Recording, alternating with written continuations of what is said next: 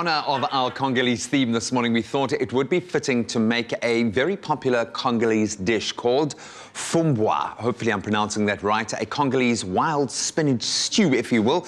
And we are joined by Milka Blessing Ntumba, who is an awesome small business owner and a chef, of course, from the Democratic Republic of Congo to share this recipe. I got a lot of questions, Milka. I'm looking at some really interesting, everything is interesting to me here. I love these flavors. I've been lucky enough to travel a little bit through Africa and I love getting into the street markets and tasting the food made by the people in a very traditional way. Yeah. So how does this fit into the grand scheme of things? Is this something that everybody eats every day? Is this a special Yes. treat? Um, tell me about fumbwa. Fumbwa is basically uh, almost like a wild spinach stew, and it's mostly eaten in the Congo. It's like one of our delicacies. Oh, because and this it almost like literally every day. So it's people just love it. I I can understand why. I love the fact, and I've seen this through through a lot of like Central African cooking in East Africa as well. Peanut butter, we love it. We love the Yeah. flavor profile. And I think that's something that connects South Africa and the rest of Africa. Yeah. Yeah. But there are a couple of things here that smell and look so interesting. Okay, so first off here, this smells like tea. What is that? That is a leaf made from almost similar to spinach leaf. Okay. Yeah, and it's called fumbwa. It's when you like in Congo. When you get it, we usually get it fresh, fresh, and it's nice and green. Green, But pops. because it's like coming all the way here, it takes time and all, all Has that to be stuff. preserved, so, cool. Yeah, it has to be preserved. So basically, that's it. Um, okay, I, I'm going to ask you as you cook because we've got a lot to do and I don't want us to, to not get to the finished product. So you can start cooking and then I'll, I'll keep firing away the, the So questions as we go. basically, what we do with the fumbwa, what we start with is we rinse this thoroughly, like three or four times, to make sure that there's nothing unwanted in the Cool. fumbwa. Yeah, and then we place it into the. Carl, Carl, uh, did you hear that? We rinsed the fumbwa three times. Zoe would be very happy, man. Zoe would, you rinse your fumbwa. So we do that. We place it into the pot, and then after placing it into the pot, we put the water. It is a very simple dish. A very simple dish that when, once you place the, the, the water, then you place your oil. Okay. Usually in Congo, most of the time we use palm oil, which Palm is oil, almost okay. like a pink, a reddish kind of oil. Sure. We love the palm oil. That's what we use most of the time, but today we're using something different. Cool. And then after that, we start with um, your onions. We do your onions. You literally just put everything Kind of into layer the and one. layer. And Yeah, that's the one with the pot. stew, hey? Because yeah. you, you want to kind of layer the flavors Yeah. in. It's about you layer the flavors, everything in. and then you put Stock. your your cube stocks.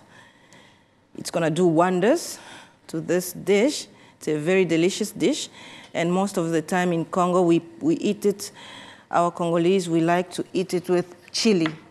Most of our food we just use chili. I love a little bit of heat, but these look these look dangerously Very hot. close to That's very hot. the- that That's, that's like very hot. Don't if you're not into chili, Don't don't, just Okay. do that. so we paste. we add all your your stuff, your tomato paste. Can I? Uh, do you need these for the cook? Yeah, you I can, chop, chop, them for that you? for Cool. me, please. And then we just add a little bit of tomato puree. You can find the recipe on Yeah, we'll have this Outside. definitely up on our website, yes, expressoshow.com. get everybody to try it out at home. Yeah, and then pinch of salt. There we go. And that's salt to, to activate the flavors. That's for you. That's your chives. And I love this. It's wholesome, but you- you're not skimping on the flavor. There's Yeah. layers and layers and layers of flavor going in. And then the secret ingredient, which is mm-hmm. the peanut butter. That is a secret ingredient for this dish. It is the peanut butter. Without the peanut butter, there is no fumbwa. It ain't the same. Yeah, it ain't the same. So this is, but if you are allergic to peanut butter, don't try this Yeah, at all. you just- And oh, I can't remember having having come across somebody in the Congo who's allergic to peanuts because everything we eat in Congo has peanuts. So Uh, before I go in and taste our finished product there, I've got to ask, what is this? This, This. looks, it looks like kind of pap rolled into a thing. What is it? It's a cassava bread. Cassava bread. Bread, yeah, it's called the kwanga, chikwangue, as we call it in Shikwang. yes in in Congo. We add the fish. This is a smoked dry fish, but you can use any other kind of fish, depends on your preference. And then that's basically that. I like, that, I like that smoked dry fish. Okay, so I'm going to drift my way along to the end. and I'm going to have myself a little taste. I'm going to have some of this and some of because I'm dying to Yes. taste You this can bread. serve it with fish. Most of the time we eat it with fish on the side, like your salted fish and Mm. so on. So that's basically that. And the chili.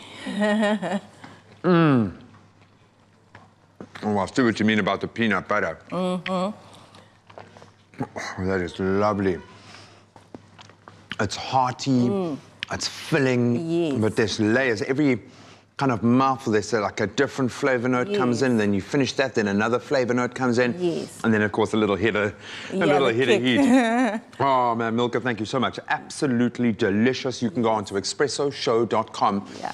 If you want to find this full recipe, I suggest you go and explore um, the, the culture in the best way that you can, and that's through the food. Delicious. I'm having another bite. Oh, that's lovely, eh?